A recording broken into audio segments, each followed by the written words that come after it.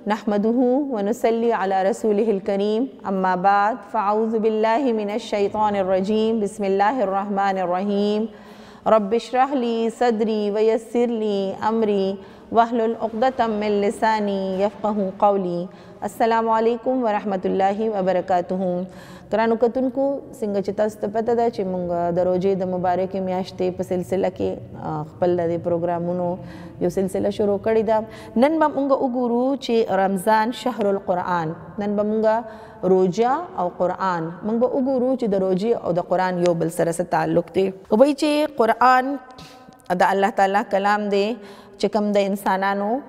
د هدایت د پاره دنیا ته را لګلې شوی دی او په دې بابرکت د روزي په دې بابرکت میاش کې الله تعالی د یوې شپې انتخاب کو دا بابرکته کتاب دنیا ته رالیږل الله درصل وای چی دا روژه د جشن نزول قرآن میاشت ده چې لکه په دې کې مونږ د قرآن د نزول خوشحالي مونږ مناو یو تر سره لکه دا چې څنګه وای کنه چې دا شی د شي سره دا روژه د قرآن د نازلېدو د خوشحالۍ میاشت ده نو راځئ چې موږ وګورو چې د قرآن او د روژې یو بل سره څه تعلق دی. الله تعالی فرمایي چې موږ بېشکه موږ په یوه شپه کې دا قرآن نازل کړو او موږ خبردار کولو واله یو د هغې مفهوم دی. یو بل ځای کې دا فرمایږي چې روژه هغه میاشت ده چې په کوم کې قرآن نازل کړی شوی دی چې کوم د انسانانو د هدایت دپاره دی. نبي صلی الله علیه وآله وسلم فرمایل چې روجه کې به هر میاش جبرائیل امین رسول الله صلی الله علیه و وسلم سره ملاقات کولو او رسول الله صلی الله علیه و وسلم به روجه تیرولو پورې هغوی ته قرآن اورولو یو بل حدیث کې دا دغه مفهوم دا دی چې هر کال به جبرائیل امین یو ځل رسول الله صلی الله علیه و وسلم سره د قرآن دهرایي کوله او د رسول الله صلی الله علیه و وسلم د وفات نه مخکې رسول الله صلی الله علیه و علیه وسلم دو ځله خپل مطلب قران حضرت جبرائیل امین سره دوهراو کو مطلب دا دی چې د روجي او د قران یو بل سره خاص تعلق دی څنګه لکه مونږ چې خپل دغه ته وګورو د ټولو نه مخکې د روجې د میاشتې یو انتهایی ښکلی عبادت او یو زمونږ یو ښکلی یاد چې زمونږ د بچپن نه والي تر اوسه پورې د تراوو په شکل کې وي اصل کې د تراوی د قیام اللیل یو شکل دی د قیام اللیل یا تراوی څه شی دی چې د روزي په میاشتو کې د الله تعالی خاص عبادت کول او خاص کر ډیرو ځایونو کې په تراوو کې پورا قران لکه پورا قران ویل کیږي او خلک اورین مطلب دا چې د یو پورا قران ډیر شروع کې دا غي پورا دوهرایي وشي وایي چې لکه د د رحمان د بندګانانو صفت دا بیان کړی شوی دی چې هغه په شپو کې قران اوري مطلب دا دی چې قیام الليل یا تراوی چې دی هغه د روزي یو خصوصي خپل عبادت دی چې کم په عمروجي په میاش کې وي د دې څه اهمیت دی د تراو رسول الله صلی الله علیه و وسلم د یو حدیث مفهوم دی چې چا د روزو په میاشتو کې لکه ویخ پاتې شو تراوی یې وکړي د ایمان او د ثواب په نیت باندې نو دا غي ټول ګناونه به معاف کړي شي بله دا ده چې د دې نه علاوه وایي چې آیا دا د تراوو یا د قیام اللیل سلسله چې وه دا په هر دور کې جاری وه بالکل وی هر دور کې د اهل علم او اهل تقوا چې وونو هغوی به د قیام اللیل دا خصوصي عبادت چې دا به د هغوی په ژوند کې وو دا په کم وخت کې کیږي عموما خو لکه دې ته د تهجد عبادت چې څه ته مونږ وایو خو موږ چونکې دلته لکه هغسې دغه کې ویښ پاتې کېدی نه شو ټوله شپه نو موږ او دا د شپې عبادت دی چې څه ته تراویح ویل کېږي دا د شپې عبادت دی د عشاء نه والي د طلوع فجر پورې د دې وخت دی حضرت بیبي بی عائشه رضی الله مروي چې رسول الله صلی الله علیه و وسلم د عشاء د مزنه چې به فارغ شو نو د فجر لکه د فجر د راختېدو نه مخکې پورې به یې یولس رکعته د تراوو مونځ کولو او د دې افضل وخت هماغه دی چې د عشا نه بعد یې وکړي او لکه چې څوک د شپې ویښ پاتې کېږي نو په نیمه شپه کې هم د عبادت کېږي خو دا اکچولي د هماغه د تهجد د قسم یو عبادت دی اصل کې خو مقصد هماغه دی چې په دې روژې په میاشت کې زیات نه زیات مونږ قران سره وخت تیر کو د قران دوهرای وکو کو مونږ وګورو نو عام ورځو کې خو دونه اهتمام سوک نم کوي نو د هر چا کوشش وی چې د روزي په میاش کې چې څنګه می ناظره قران ویلی شو ترجمه ویلی شو تفسیر ویلی شو تجوید ویلی شو لکه په قران کې هر قسم غور او فکر چې دی چې څوک حافظان دي ماشاءالله کم ماشومان او کم ځوانان او کم بډاګان حافظان دي هغوی خپل د قرآن دوهرایي کوي چې لکه موږ نه هیر شوی خو نه دی موږ اکثر ګورو چې زموږ ماشومان چې کم حافظان وي هغوی په کورونو کې هم داسې محفلې دغه کړې وي چې ځکه چې پاکستان کې خو د ښځو دپاره د تراوو څه داسې اهتمام نه وي چې چېرته جومات ته هغوی لاړې شي نو عموماً په کورونو کې چې د چا بچو حفظ کړي وي هغوی خپل د کور ښځو ته امامت کوي او د هغوی هم د قرآن دهرایي وشي ورسره د کور د ټولو ښځو هم هغه د عبادت هغه شوق پوره شي اصل کې د دې مقصد خو همدا دی چې وایي دا روژه او قرآن به د قیامت په ورځ باندې الله تعالی ته د روژه دار سفارش کوي چې دی وګوره روژه به ورته وایي چې دی د ستا دپاره د خوراک نه ځان محروم ساتو انسان لکه د هغه باندې هر څیز نه زیات لکه دا خېټه چې ده که نه دا په هغه زوروره وي او هر وخت انسان په دې تکل کې ګرځي چې اوس څه وخورم او روژه یو داسې عبادت دی چې هغې کې خالصتاً د الله لپاره خلک د دې خپل عادت نه مني وي او وي قرآن به هم داسې سفارش کوي وي به چې یا الله زما دا بنده به د شپې وي خو او د به ستا د پاره به قران وي مطلب یا قران به کو پخپل وي کو تراو کې به اوریدو کو قیام الليل به وو کو سو محفل به وو د درس قران یا داسې دغه وی بازو کا تغي په غور فکر کوي تدبر پکې هر هغه محفل چې کم کې په قران باندې غور فکر کیږي غور دې کیږي نو هغه به وي زموږ د پاره سفارش وي بچي د دې د شپې د خوب نه د دې د پاره وي خو چې د به دا عبادت کولو او د دین او ماغه موږ مخکې دا چې جو کې ذکر وکړو چې حضرت جبرائیل امین به رسول الله صلی الله علیه وسلم سره د قران دوره کوله قران مجید په خپل سینو کې لکه محفوظ الخو یو ډیر زیات غټ سعادت ته او د سره ماغه خبره چې څنګه موږ مخکې وکړه چې بیا حافظان صاحبان چې وی هغه په دې روزه کې خپل د ټول قران دوهرایوي کې چي هغه لکه هير هم تي نشي او نور خلک تيم فايده اوچت کي وايي چي پروژه کي کوشش کول پکاري چي هر انسان هر مسلمان چي چا قران ويلي دي هغه دي کم از کم يو لکه ناظري سره يو قران خو مونږ ختم کړو بيا د دي دويمه لکه وګوره درجي دي کنه مونږ وي چي سونه کوالټي اچول غواړو دويمه دغه دا ده چي مونږ څه سورتونه حفظ کو څه دعاګانې حفظ کو څه آیاتونه حفظ کو بعض اوقات زمونږ کوشش وي چې مونږ له مسنونې دعاګانې لکه په خپله راشي نو هغه عموما هسې خو نه کېږي خو او د روژې میاشت یو داسې میاشت ده چې الله تعالی ته مونږ دعا وکړو چې یا الله په دې روژه کې زما دېرش ورځې دي نو که مونږ دېرش دعاګانې نه شو یادولی نو لس یادولی شو چې دوه دوه درې درې ورځې مونږ مستقل یو دعا وایو ښه بیا دا ده چې مونږ د قرآن څه سورتونه ځان له حفظ له ټارګټ کیدو چې موږ به دا فرض کم وړه وړه سورتونه دي یا به موږ لس آیاته حفظ کو خو ځان ته څه نه څه ایښودل ځکه پکاري چې بغیر د ټارګټ نه موږ خو هغه کار نه شو کولی خو لازمي د هر سړي دغه پکار د کوشش پکار دی چې څنګه هم یې چې روژه کې قرآن سره تړلی ځکه چې روژه او قرآن یو بل سره تړلی دي بیا دا چې تراوو کې چې پاکستان کې خو ښځو ته دونه زیات موقع نه ملاویږي چې هغوی هم پوره تراویح چرته واوري یا داسې جماعتونه نشته دی خو سړو لپاره الله تعالی دا مواقع ډیرې ایښې دي نو هر سړی دې کوشش کوي چې زه یو ځل کم از کم په تراوح کې پوره قرآن واورم بیا د څه داسې مجلس کې شرکت وکړي چې کوم ځای کې د قرآن ترجمه وایي چې قرآن د هر لفظ فضیلت دی او چې څنګه موږ ته پته ده چې په یو ټکي باندې څونه نیکیانې دي خو لکه موږ ولې زموږ زړه کې دا خواهش نه پیدا کیږي چې فرض که قرآن په عربی کې دی نو موږ دا ژبه زده کړو یا دا د خدای د طرف نه راغلی یو یو پټ خط دی موږ ولې دا نه ویل غواړو چې دې کې خدای پاک ما سره څه خبرې کوي یو میسج د چا د چا نه راشي کنه په موږ باندې وخت نه تیریږي چې دې میسج کې به اوس څه وي زما د رور یا خور یا مرګري به ماته یو میسج کړي یو زموږ سم یو دغه چې الله زر تر زر موبایل راوالو میسج مې راغلی دی زه میسج وورم چې دې میسج کې څه دي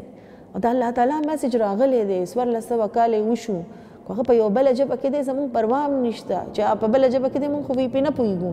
کو تا ته څو د دغه نه چرته ستا د کار څه میسج وي هغه په کومه ژبه کې وي کو په انګریزۍ کې وي کو په فرانسیسۍ کې وي خو زمونږ کوشش وي چې اوس د دې معنی څوک ترجمه وکړي بعض اوقات زمونږ مشران وي هغوی له اردو نه ورځي نو هغوی مونږ پسې هغه شیز ګرځوي چې یا ول انګلیش نه ورځي هغوی وي دا واخله او دا ماته ووایه چې دې کې څه لیکلي دي نو زمونږ یو ظلم دا خواهش روچت نشو چې یا الله تا خو دا میسج رالیږلی دی او دا خو د دې خو ډیر زیات ټایم وشو خو دا پروت دی مونږ دا نه ویل غواړو چې دې کې څه تا مونږ ته څه ویلي دي ته تا مونږ ته حکم څه راکړی دی لکه بې د پوهېدو د وینا هم ډیر اجر دی خو مونږ چې په دې نه پوهېږو نو ژوند خو تیر شو هغه د قرآن یو استاد به وي چې مونږ ټول عمر داسې تیر کو مونږ د قرآن په یو ټکي نه پوهیږو بیا مونږ مړه شو بیا زمونږ اولادونو ماغه قرآن کو لو کړي او زمونږ په مونږ مړه پراته یو هغه مونږ ته آیتونه وایي نو هغه آیتونه خو د ژوندو د پاره وو په هغې کې حکم و په هغې کې د مونځ حکم و په هغې کې د پردې حکم و هغې کې د سود حکم و هغې کې د ژوند د هر هر هغه کار چې ما کړی و د هغې حکم و نو نه پې په ژوند پوه شوم او اوس په مرګ باندې هم که هغه وایي نو اوس خو ماته څه فایده نشته دی، نه پې هغه پوهېږي نه پې زه پوهېږم. دا د احکاماتو کتاب دی، دا د ژوند د تېرولو کتاب دی، که موږ له ددې عربې باندې موږ نه پوهېږو نو موږ یې ولې نه زده کوو؟ لکه زموږ د ژوند مقصد دا ولې نه دی چې د الله تعالی د طرفه راغلی دا پیغام دی ددې په رڼا کې ژوند تېرول دي، لکه یو د معمولي نه معمولي انسان میسج چې موږ له راشي نو هغه زموږ لپاره ډېر زیات اهمیت لري چې بس زر یې واورم الله څه وي راته الله تعالی موږ ته څه وایي زموږ هېڅ پروا نشته یا الله موږ له توفیق راکړي موږ په دې روژه کې ضرور به ضرور د قرآن په څه ترجمه ښه چې ډېره نه راځي څه ټکي خو زده کړو که نه څه د مونځ ترجمه لازمي زده کړو ښه چې قرآن نور نه شو ویلی بعض خلکو نه دی ویلی او هغوی ویلی هم نه شي لکه ډېر زیات کمی دی زموږ په ملک کې د تعلیم خه د مونځ ترجمه دې زده کو ځکه چې بس مونځ وایو رټم وهلې د پویګو بنا زکه پکې خشوم نه راځي مونږ ته پتم نه لګي چې مونږ سو رکعات وکړل او د مونځ ترجمه دې ځان ته ټارګټ کو خو لازمي دې دې روزه کې مونږ الله تعالی ته دعا وکړو چې مونږ نه شو کولی مونږ الله ته دعا وکړو چې خدای پاک توفیق راکړي چې موږ د دې ترجمه زده کو نو د قران د ترجمه یا د څه محفل یا مجلس کې اوس خو آنلاین نورم زیات اسانه ده وای چې یو دا غ زمانہ د چې وی علم به وی را دغه کیږي لکه وی علم داسې راوريږي خو عمل کول والا خلک بني ځکه چې یو د موبایل کې دون د قران بشمار ترجمه د دنیا د هر قاری تلاوت ترجمه په یو ټچ باندې ده خو د چاغه سره سکار نشته دی علم ډیر زیات شو خو عمل کولو والا خلک بلکل ختم شو لکه د خلکو دلچسپي اوس دې کې نه ده هغوی پکې نوي نوي څیزونه ګوري نو دا دې ځان ته دې روژه کې دغه کو چې استاد نشته انلاین هر څیز شته خو بعض اوقات موږ ته خاص کر زنانو ته د کور نه وتل دا مسله ده د دنیا هر علم اوس انلاین شته الله تعالی دې موږ له دې روژه کې توفیق راکړي خدای پاک دې موږ له داسې څه خپل کورونو کې داسې یو یونټ جوړولو توفیق راکړي چې میندې بچي خاوند درونه خویندې یو ځای کینی دوه منټه دوه منټه د قرآن په یو آیت باندې تدبر کوي خدای پاک دې دې روزه کې موږ له داسې توفیق راکړي چې ډېر شو ورځو کې په ډېر شو آیتونو هم تدبر وکړو د دوه منټو خبرې پی وکړو نو ان شاء الله الله تعالی دې زموږ د ژوند نصیب کړي خو اصل کې خبره ده چې په دې روزه کې د قرآن سره تعلق ضرور به ضرور جوړول دي خه بیا دا هماغه خبرې دي دې کې چې لکه د تراوو لکه مختلف دغه دي د رکعتونو په سلسله کې سونه کول دي چې رسول الله صلی الله علیه و علیه وسلم نه مروي دي موږ ته هماغه کار کول دي چې کم د سنت مطابق دي چې کم کار د سنت مطابق نه دي چې هغه د سروم شي نو هغه موږ ته څه اجر نشي را رسول نو لهدا دا خیال ساتل دي چې هر هغه کار کول دي چې کم په دغه د سنت مطابق وي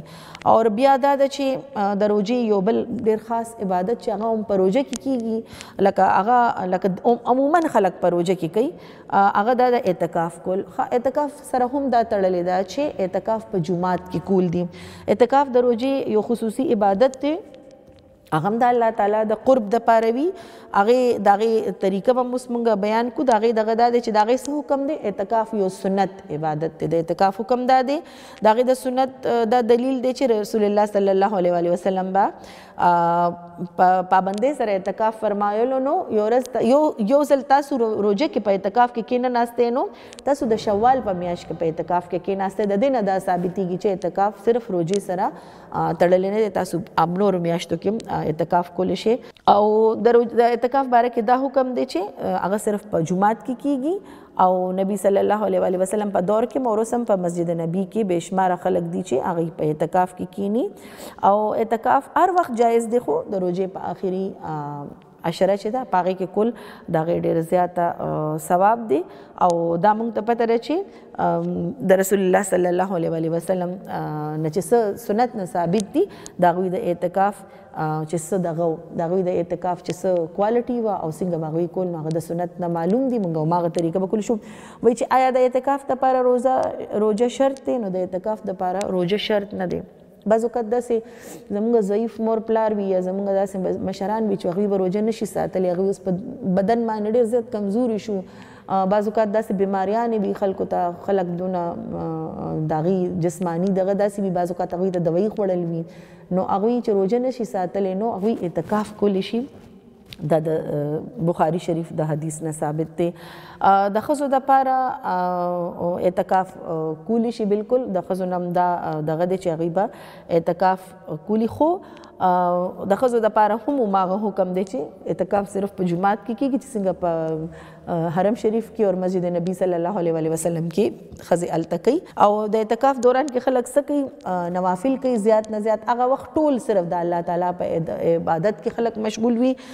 نفل کوي قران مجید ډیر زیات تلاوت کوي د الله تعالی ذکر اسکار کوي توبه استغفار کوي دعاګانې کوي ډیر زیاتې د قران مجید پایتونو باندې غور او فکر او تدبر کوي چې څوک حفظ کول غواړي نو ځان لسه لکه ټارګټ کیدی چی دانه دانه دغه به حفظ کوم د الله تعالی د راضی کولو کوشش کوي د جګړو نه د فحش کارونو نه پریز کوي او فضول خبری لایعنی ګفتګو اوس خو چونکه موبایل دی نو کوشش دی خلک کوي چی اعتکاف ته تلو نه مخکی خپل موبایل هم د ځان نه لری کوي ځکه چی د ټول نه زیات لایاني خبرې چې دي هغه په موبایل فونونو باندې کیږي هغه کې خوراک سکاک هر څه جایز دي په اعتکاف کې لکه چې کم وخت روزه دي نه نو هغه نه علاوه خوراک هم کولی شي خلک آرام هم کولی شي او د کې دیم شي خا بیا چونکه د روزي او